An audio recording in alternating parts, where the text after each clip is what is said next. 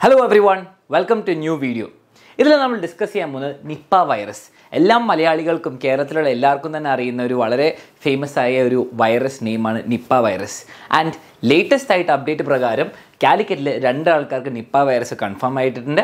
And അത് നിപ്പയാണെന്ന് തന്നെ കൺഫേമും ചെയ്തിട്ടുണ്ട്. ആൻഡ് അതുകൊണ്ട് തന്നെ നിങ്ങളെല്ലാവരും എന്താണ് നിപ്പ വൈറസ് എന്ന് അറിഞ്ഞിരിക്കണം. അതേപോലെ അതിൽ നിന്ന് എങ്ങനെ നമുക്ക് പ്രൊട്ടക്റ്റ് ചെയ്യാം പ്രിവെന്റ് ചെയ്യാമെന്ന് അറിയണം. ആൻഡ് നിങ്ങൾ അറിഞ്ഞിരിക്കേണ്ട കുറച്ച് ഇമ്പോർട്ടന്റ് കാര്യമായിട്ടാണ് ഈ വീഡിയോ ഞാൻ ഉണ്ടാക്കിയത്. ഈ വീഡിയോയിൽ കവർ ചെയ്യാൻ പോകുന്ന ടോപ്പിക്സ് എല്ലാം ഞാൻ ഇവിടെ കൊടുത്തിട്ടുണ്ട്. ആൻഡ് ഫസ്റ്റ് കാര്യം എനിക്ക് നിങ്ങളോട് പറയാനുള്ള ഞാനൊരു ഹെൽത്ത് എക്സ്പേർട്ട് അല്ല. നിങ്ങൾക്ക് ഹെൽത്ത് അഡ്വൈസ് തരാൻ വേണ്ടിയിട്ട് അല്ല ഈ വീഡിയോ ഉണ്ടാക്കിയത്? This is an informative video about Nipah virus ഈ വീഡിയോയിൽ കാണാൻ പോകുന്ന എന്തൊരു ഇൻഫർമേഷനും ബാക്ക്ഡ് ആയിരിക്കും. അതിന്റെ സോഴ്സസും ഞാൻ കൊടുത്തിട്ടുണ്ട്. World Health Organization National Library of Medicine and Cleveland Clinic ഇവരിൽ നിന്ന് തന്ന ഇൻസ്ട്രക്ഷൻസ് അഥവാ ഡേറ്റ മാത്രമേ ഞാൻ ഫോളോ ചെയ്തിട്ടുള്ളൂ. So you can check this video correct information ആയിരിക്കും.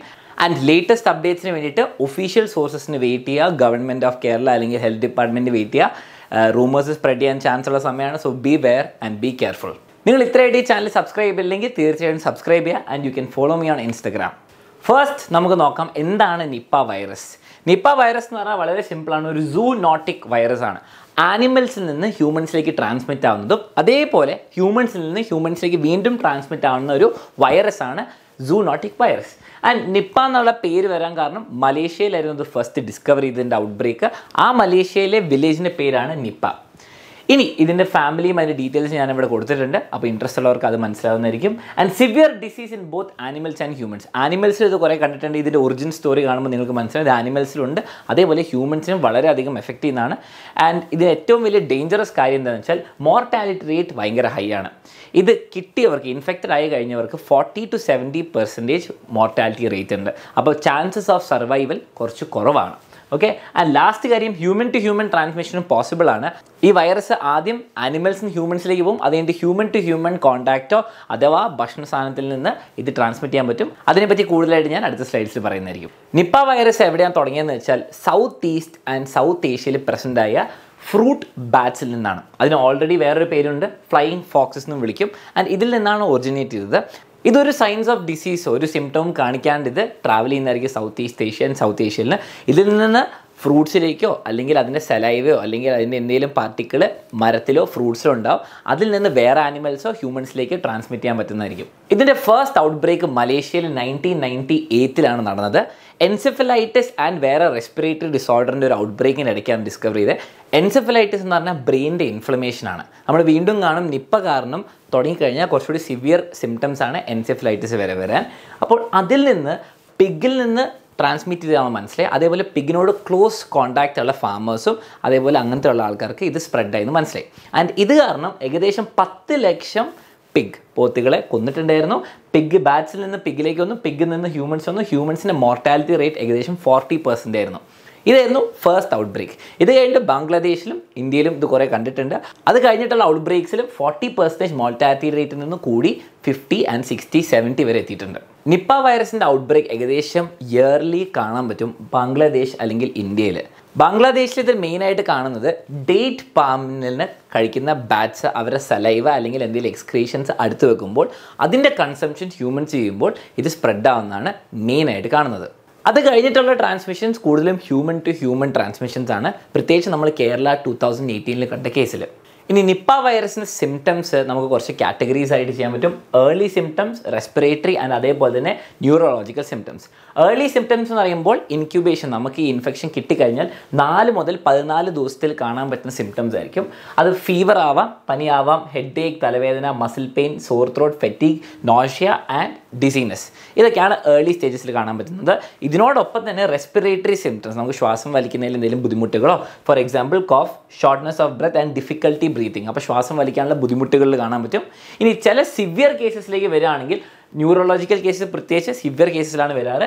ഓൾട്ടേർഡ് മെന്റൽ സ്റ്റേറ്റസ് അപ്പം കൺഫ്യൂഷനും ഡിസീനസും അതേപോലെ ഡിസോറിയന്റേഷൻ കാണാൻ പറ്റും. പിന്നെ ഡ്രൗസിനെസ് ആൻഡ് ലതാർജി അല്ലെങ്കിൽ എൻസെഫ്ലൈറ്റിസ് ഇതാണ് ഞാൻ പറഞ്ഞ നേരത്തെ ഇൻഫ്ലമേഷൻ ഓഫ് ദ ബ്രെയിൻ ഇത് സിവിയർ കേസസിലേക്കാണ് നമ്മൾ കാണാറ്. And inflammation of brain which can lead to seizures അത് കുറച്ച് സീരിയസ് കേസിലേക്കാണ് വരിക ആൻഡ് കോമയിലേക്ക് വരെ ലീഡ് ചെയ്യാൻ പറ്റും. ആൻഡ് അതർ പോസിബിൾ സിംറ്റംസ് എന്ന് പറയുമ്പോൾ അബ്ഡോമിനൽ പെയിനും ഡയറിയാണ് പക്ഷേ ഇത് റെയർ കേസസിലാണ് കാണാറ്. പക്ഷേ ഇൻഫ്രീക്വന്റ് ആണെന്നാണ് പറയുന്നത്. ഇനി എല്ലാവരുടെയും മനസ്സിൽ വരുന്ന ചോദ്യം നിപ്പ വൈറസിന് ട്രീറ്റ്മെന്റ് അല്ലെങ്കിൽ വാക്സിൻ ഉണ്ടോ? നിപ്പ വൈറസിന് ആസ് ഓഫ് നൗ ട്രീറ്റ്മെന്റോ വാക്സിനോ ഇല്ല.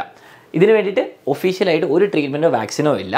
പക്ഷേ ആകെ ചെയ്യാൻ പറ്റുന്ന ഒരു ട്രീറ്റ്മെന്റ് എന്താണെന്ന് വെച്ചാൽ ഇന്റൻസീവ് കെയർ ഐ സിയുവിൽ നിന്ന് കെയർ കൊടുക്കുക. ആൻഡ് ഈ ഇൻഫെക്ഷനിൽ വരുന്ന സിംറ്റംസ് എന്തെങ്കിലും പ്രശ്നങ്ങൾ അറൈസ് ചെയ്യുന്ന അത് ക്യൂർ ചെയ്യാനാണെന്ന് നോക്കുക. Treatment for the symptoms and complications of the infections അതാണ് ചെയ്യാൻ പറ്റുക.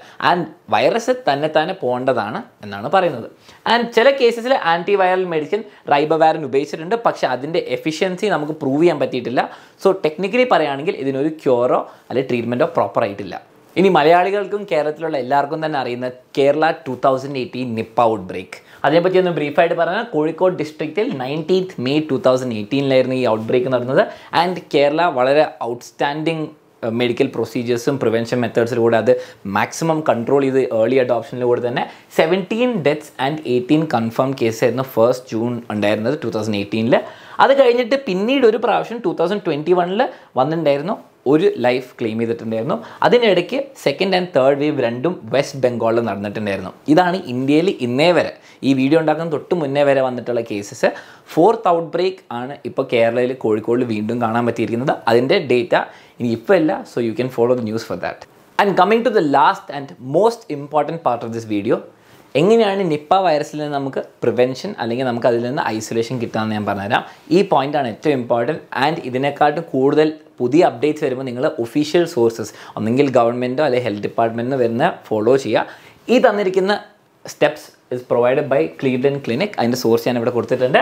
അപ്പം ഏറ്റവും ബെസ്റ്റ് കാര്യം നിപ്പ വൈറസ് ഉള്ള പ്രദേശത്തോ അല്ല അറിയുന്ന ആൾക്കാരെടുത്തുന്നുണ്ടെങ്കിൽ അവിടെ നിന്ന് stay away protect yourself first കാര്യം ഇതിൽ പറയുന്നുണ്ട് avoid exposure to sick animals specially പറയുകയാണെങ്കിൽ സിക്ക് ബാറ്റ്സ് ഇനി വവാൽ കണ്ട ആരും അടുത്തേക്ക് പോകില്ല എന്നറിയാം എന്നാലും സിക്ക് ബാറ്റ്സും സിക്ക് പിഗ്സും അതേപോലെ സിക്ക് ആനിമൽസും നിങ്ങൾ അവോയ്ഡ് ചെയ്യുക. അടുത്തേക്കുള്ള കോൺടാക്റ്റ് അടുത്ത കാര്യം നമ്മൾ അവോയ്ഡ് ചെയ്യേണ്ടത് പാം സാപ്പ് അല്ലെങ്കിൽ ചില ഫ്രൂട്ട്സ് അവോയ്ഡ് ചെയ്യുക. ഓക്കെ അത് പ്രത്യേകിച്ച് അത് കണ്ടാമിനേറ്റഡ് ആണെന്ന് തോന്നുകയാണ് ബാറ്റ് ബൈറ്റ്സോ വവലിന്റെ കടിയോ അല്ലെങ്കിൽ എന്തെങ്കിലും ചെറിയ പൊട്ടലൊക്കെ ഉണ്ടെങ്കിൽ പറ്റുകയാണെങ്കിൽ അത് അവോയ്ഡ് ചെയ്യുക. പ്രത്യേകിച്ച് ഈ ടൈമിൽ സെക്കൻഡ് കാര്യം wash your hands frequently soap ഇട്ടിട്ട് പ്രോപ്പറായിട്ട് എല്ലാ സൈഡിൽ നിന്നും കഴുകുക. എവിടെ പുറത്ത് പോയാലും ഉള്ളിൽ വന്നാലും. ആൻഡ് ചിലപ്പോൾ മാസ്കിന്റെ റൂൾ തിരിച്ചു കൊണ്ടുവരായിരിക്കും. അപ്പം മാസ്ക് ഇടാൻ നോക്കുക.